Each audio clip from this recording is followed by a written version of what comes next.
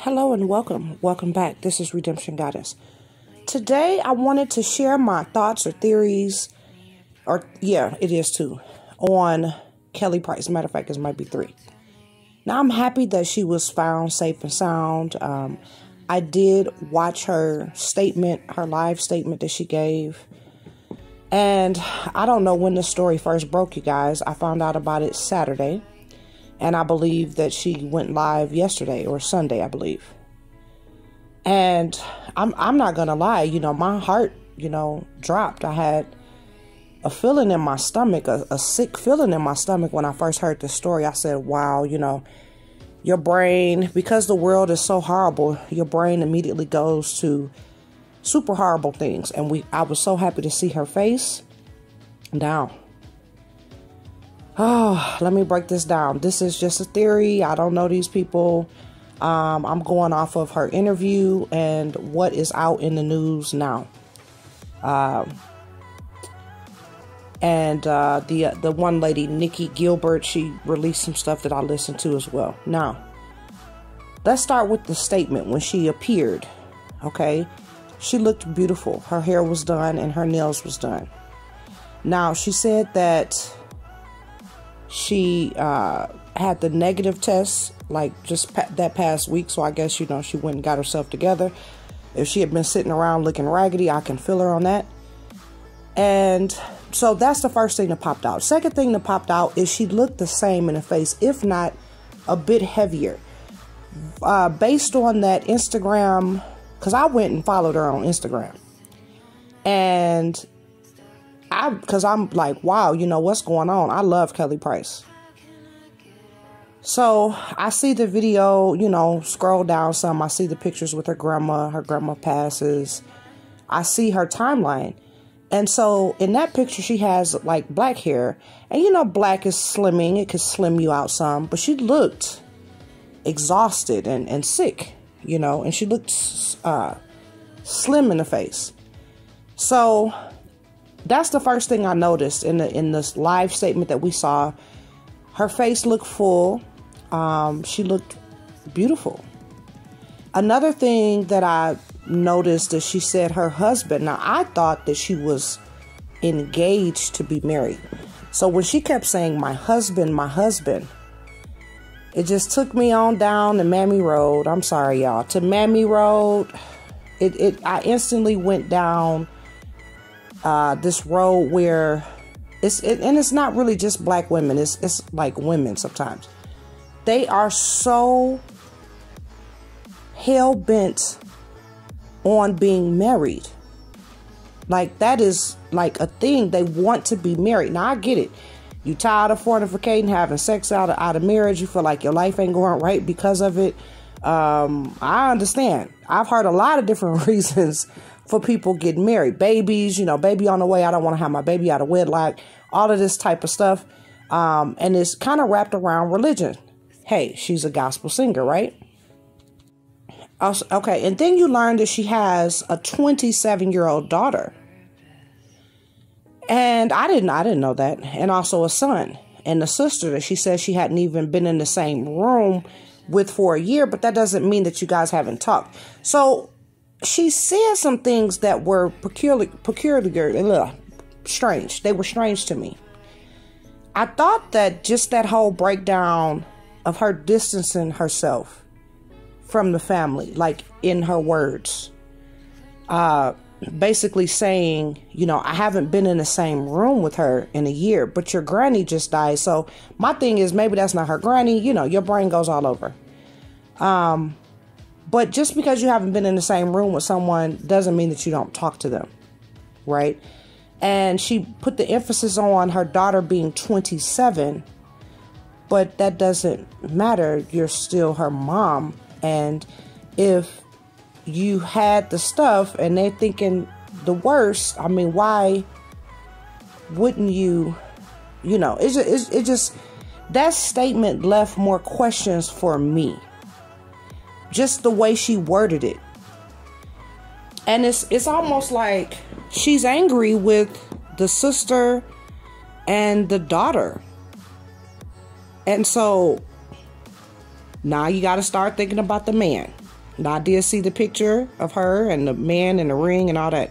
First thing pop out in my head, he had on some type of baseball cap uh, that the young the youngsters wear.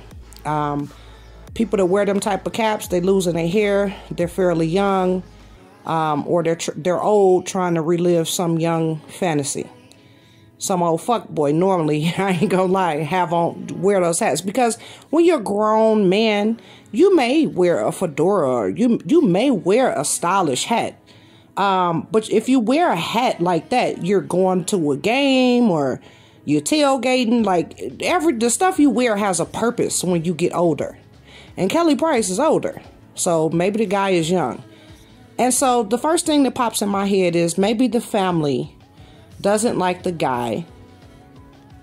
And, you know, there's some rift there. So we don't know. This is all a theory.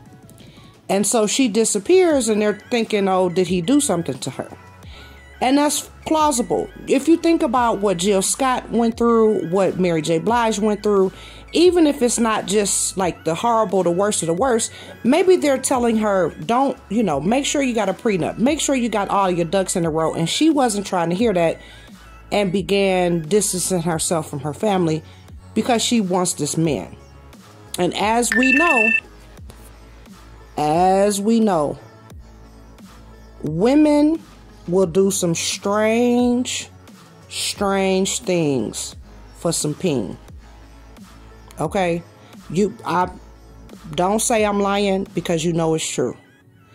There are some women on this earth that will kill you, cut you, burn you for some pain that they can't even have because now they going to prison. And uh, you got women that wear a diaper and drive 15, 20 hours to go stalk some dude and the new wife. And I mean, you, I mean, look at all shit. Exes killing the other one. You know, all types of women do some strange stuff in behind some man. Okay. So this whole thing for me reeks Kelly Price getting attached to this man and then a distancing herself from the family and like tr- call herself uh, i guess eloping because okay i was thinking that they were engaged in this she made a point to say a few times my husband my husband. And you can see how she lit up when she was saying it. Just saying the word my husband had this woman lighten up. And and some women and and sometimes it's just bliss you know. I, I definitely understand that. I still have it. It is just you are newlywed. You guys are still super horny for each other you guys love each other so much and it does feel good you know. My husband i like saying the man of the house. I, I don't normally say my husband but i like to say my the man of the house or something like that. Um, and you do light up. It it so to say that what she's experiencing that it's not real and he's some f boy we don't know them. We don't know her. We don't know him. And so i feel weird saying that but maybe the family thinks he's a f boy and think he ain't no good. And again you have examples you know examples that women have lived through. And they're just trying hell Halle Berry she's been through it like like two three times right? She's paying out all type of money uh, to to guys that she's married to. So listen, that whole thing was strange to me. Now let me get down to the nitty gritty. I don't care what man in your life and how y'all feel or whatever. When you see you see text messages and notifications coming across your phone. Day one, okay, boom, I'm too tired. I don't feel like messing with nobody. Day two, still tired. Okay, week one, it's like you reach out. I guess the Brad and some other folks hinted that they had actually talked to her.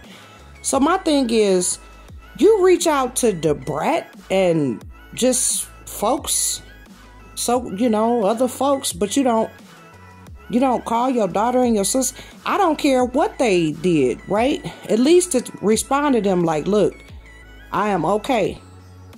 That's it. I am okay. I don't feel like talking, but I'm okay. Or if they, and then that may not even be good enough because they like, Hell, these killers, they be sending messages from the phone after they done murdered your ass. So get on the phone, get on the live. They love being on the IG live any other time. They love being do maybe because her hair wasn't done. I you know, I don't care. Get on there, FaceTime. Hey y'all, I'm okay. I just don't feel that good. I don't look that good neither, and I ain't want nobody to see me like this. But y'all, I'm okay. I love y'all. Uh, and goodbye. I, I'm literally how hard is that? I just don't see. I don't see her. I don't understand why she couldn't do that. You know. So let's break down the sisters interview, which I only watched lit- like two minutes and I maybe some clips. I caught other little clips. Listen, I didn't watch it straight through. I did hear her say, I am like the matriarch of the family. I remember the sister saying that. That's a red flag to me. I- am always, uh, my ears tune in when someone gives themselves a title. If a person tells me I'm a good person, I am a stand up person why are you telling me and not showing me? If you're the matriarch of the family, other people will tell us that you are. Like that's a title that you've given yourself, a self proclaimed matriarch with no one else to say, yes, she is. Uh, I, and look, this is number one rule in safety. I am very weary of a person bragging on themselves, telling me just like how awesome and great all the cr- great stuff that they do. I'm just like, why are they trying to hurry up and get my guard down? They trying to make me trust them quick. They don't want to go through the proper channels of time and testing time and proving yourself and letting time tell and test you. You want me to hurry up and trust you, hurry up and do something, most likely to manipulate me free me up of some money, free me up out of my ass, or whatever. You know, some they want something. And so when she said, I am the matriarch of the family, to me that was a red flag. No one is here to confirm that you're the matriarch of the family. You just giving yourself a title. So that's probably why I didn't listen to no more of the interview because something wasn't right about that. Um, another dynamic here, theory, dynamic, or whatever, they may have thought that that woman was gone gone kick the bucket and they had counted up that money already they had already counted up the money counted up the whatever else they was to try to get and and I know it sounds bad cuz I don't know these people but look this is a theory this is a plausible theory and so now you don't hear you know they might have been thinking like okay so this guy is he somewhere manipulating records um you know, signing stuff and putting stuff all in his name. And they're trying to make sure that that the sister is okay.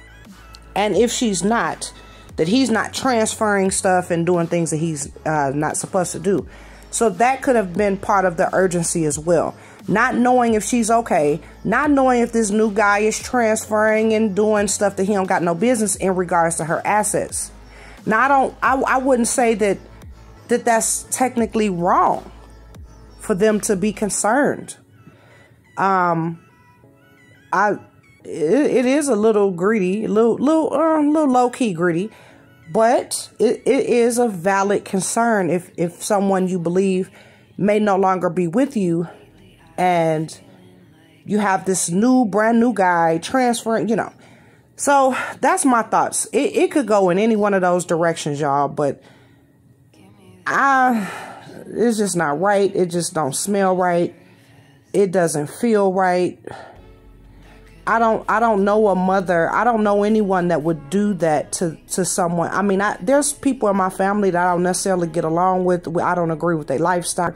But if I saw five missed calls from them and a whole bunch of texts asking if I'm okay, it doesn't even matter what they were asking. If I see that many missed calls even from somebody I really ain't even messing with in my family, I'm still going to call them back and tell them tell them that I'm okay.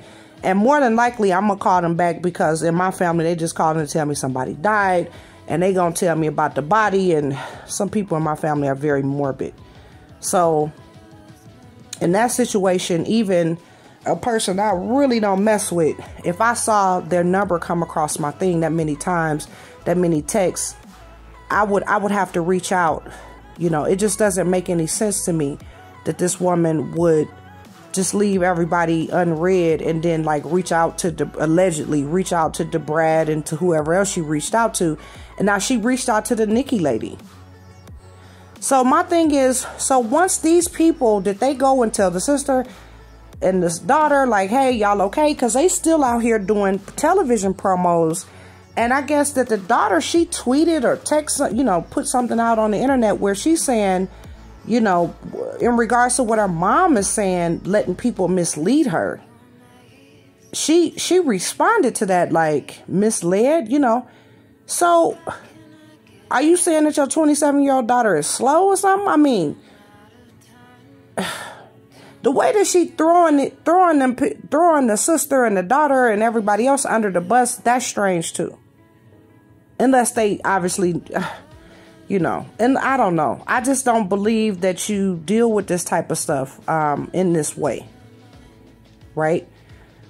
Um, and then there's also the mammy theory, and we all know and and Kelly Price used to be a big girl too. I know some big girls that pretend to be confident, right? But deep down inside, they want that weight off of them. and then I've known some that lost, well, some, I'm saying like one or two. I know some that have lost the weight, but then they have all this reconstructing to do of the skin and the this and the that. And it's a long journey. And it's beautiful if you can find somebody to go through that journey with you. But I'm telling you, these people have low, severe low self esteem.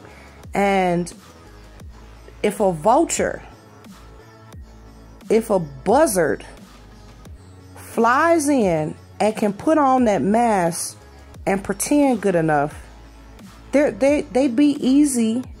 These people are in a vulnerable state where they'd be easy to trick. It's easy to fool them and make them think that you like them. You know? And that, and that's the biggest thing cuz Kelly Price is beautiful. Most big ladies are beautiful. But the the challenge of losing that weight with the extra skin and the reconstructing and all of that, it it is a arduous process and it's like you sitting here you thinking to yourself, this woman lost all that weight, she looks absolutely gorgeous. You know, she should be living her best life, right? wrong because just because she lost that weight doesn't mean that that mentality is gone. And, you know, it takes a lot. I'm not saying that, that she hasn't done everything that she needed to do to be healthy and healthy minded. But, um, the crazy dog, this dog is a nut. The little one is the nuttiest one. Okay, so I'm not saying that she didn't do all of the steps and that this isn't true love, which I really truly hope it is. But honey, when you dealing in mammy land, these women will do anything for some peen.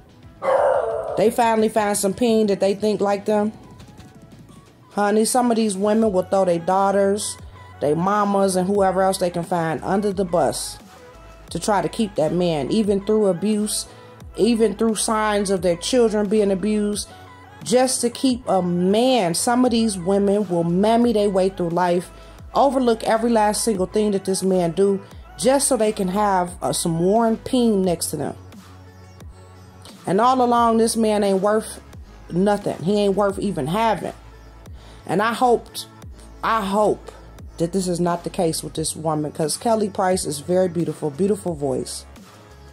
Um, and I just, you know, I just would hate for her to have her I, I, I know that she wants that forever love. Every, well, I ain't gonna say every woman, but most of us do. We want that forever love. I hope that she found it. I really do. I don't understand alienating yourself from your family to have it, but we don't even know if that's the case. But it just seems so strange that you would come out the hospital, folk thinking the worst about you, and you won't even call your people, you know. And if they lying on her, and she did call. And she did tell them. And they did all of this stuff to be on TV or be in, you know, get some props or whatever. Shame on them. Shame on them. And, and, and you never know because some folk want to ruin your marriage, ruin your damn wedding, people come to your wedding drunk and folk come dressed just like you and you you never even know what goes through people's minds. And a lot of times it does it's your friends and family and people that's closest to you. It's not total strangers. It's people you've known all your life that'll do you the worst. When i tell you to do you so dirty so maybe this woman wanted to gone off she said look you grown you 27 years old i set you on this path you do your thing son you do your thing Sis, I can't fuck with you, love you to death. You do your thing. I'm good. But even if she had parted ways with them like that, if you sat up there and left them people unread and had these folks run around worried about you, I still think that that's bogus. And if them people knew you was okay and they did all of this stuff to be on TV and get uh, whatever little social media fame, little five minutes of fame, shame on them. Shame on them. Um, you know, overall, this situation is strange.